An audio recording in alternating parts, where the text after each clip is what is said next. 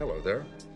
My name is John McAfee. I'm the founder of the McAfee Antivirus Software Company. What I do is what I want, basically. And if you can't have fun doing what you're doing, then do something else. He's the elusive and eccentric millionaire behind the household name that's protected millions of computers for decades. The month and a half that I spent